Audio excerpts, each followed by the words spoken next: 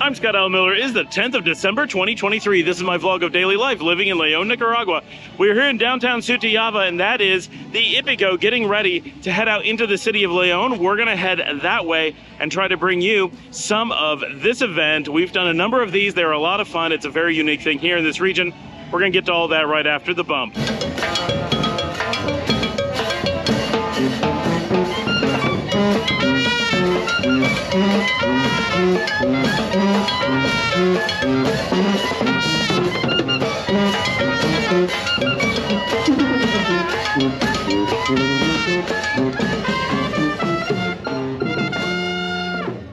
So today we're going to take you around a little bit of the Hipico here in Leon. This is the one that we just had actually on the 10th. So the date on this is matching. I have to do some voiceover because uh, there's really no way to record my voice at the event. Uh, it is so loud. There's just so much music going on, this cacophony of, of people playing in every direction. But these are so much fun. So I'm going to keep this short today. For those who find this enjoyable and you really want to see a lot of this parade or desfile, uh, I'm going to have this on my alternative channel, uh, which is just Scott Alan Miller. This is Scott Alan Miller Vlog.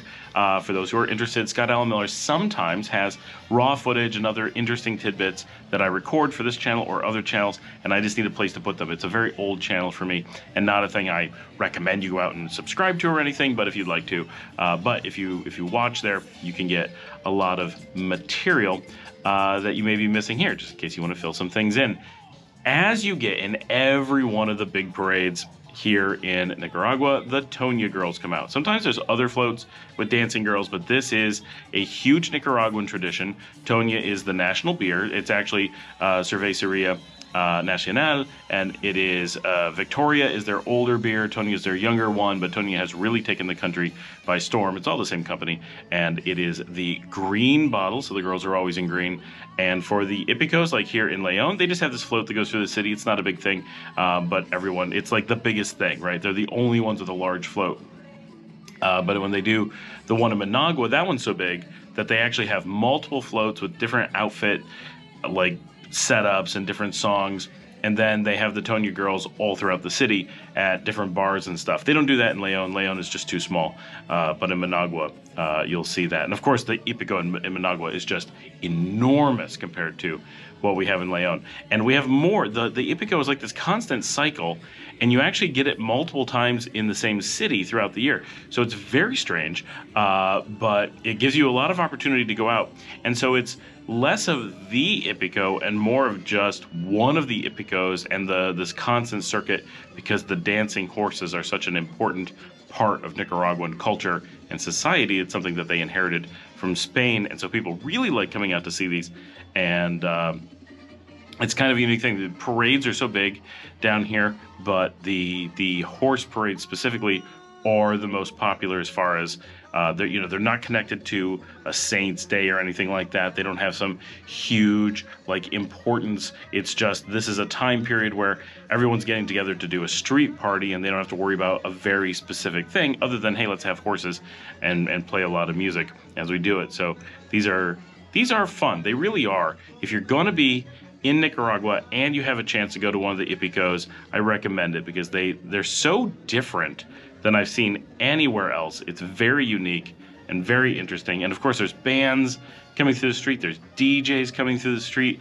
So you're just getting, it, it, really is a wild amount of music. It is so loud. And you can stand on the sides, you can march along. It's, uh, you're really free to do whatever it is that you want. And I do have to mention, I'm recording this. I have my terrible cough still. I'm, I'm quite sick with that.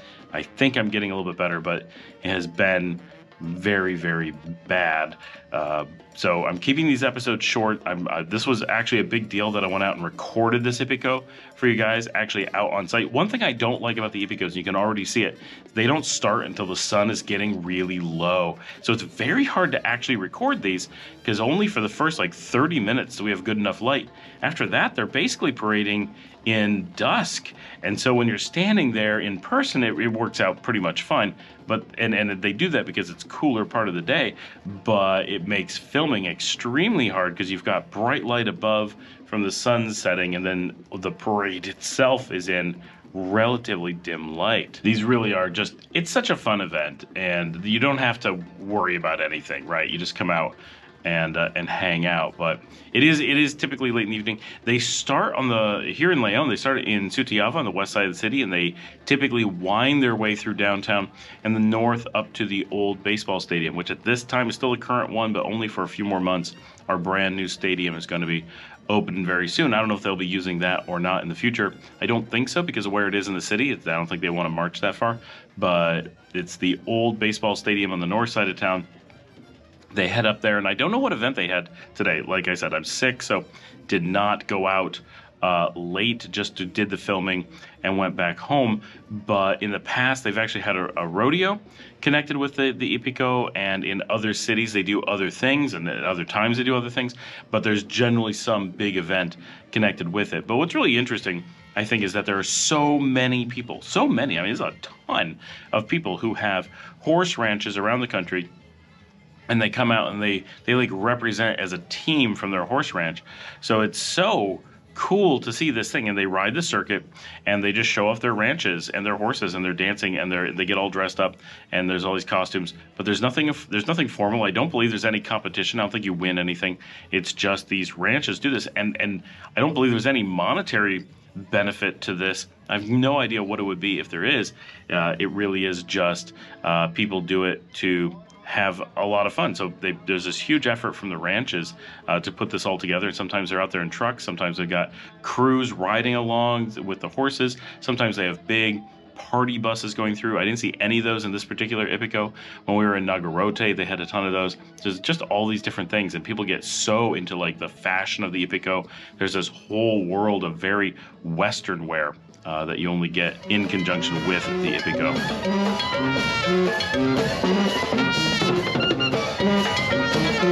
I'm out here at the Iglesia Sutiava, where we filmed just the other day. This is where I was with Eric from Generic Expats when we did the interview. Here you can see the church behind me, but today is the Hipico, and there's, now it explains why there's a giant carnival out of here. This is the staging ground for the Hipico as it goes through the city. So we're gonna give you a bit of a view here, and we're gonna take you all through the city so you can see what's going on with this giant parade. We have so much fun at these. They're a blast, and uh, mostly it's just a lot of people marching through the streets with horses. It's, it's pretty cool, but this is the Plaza Sutiava, and it is absolutely packed like a village carnival. And then they start to line up the horses and other uh, parade people around here, and then they head through uh, Sutiava and into the city from here. So this is kind of the starting ground. So a lot of people gather here, but people gather all through the city and all day long to be able to see this event.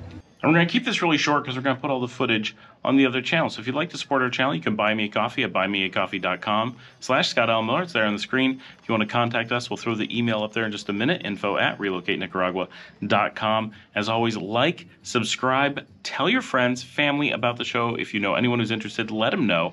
Post on social media, put that link on Facebook or LinkedIn or Reddit or anywhere you can think of. We'd really appreciate it. Thank you so much for joining me, and I will see all of you tomorrow.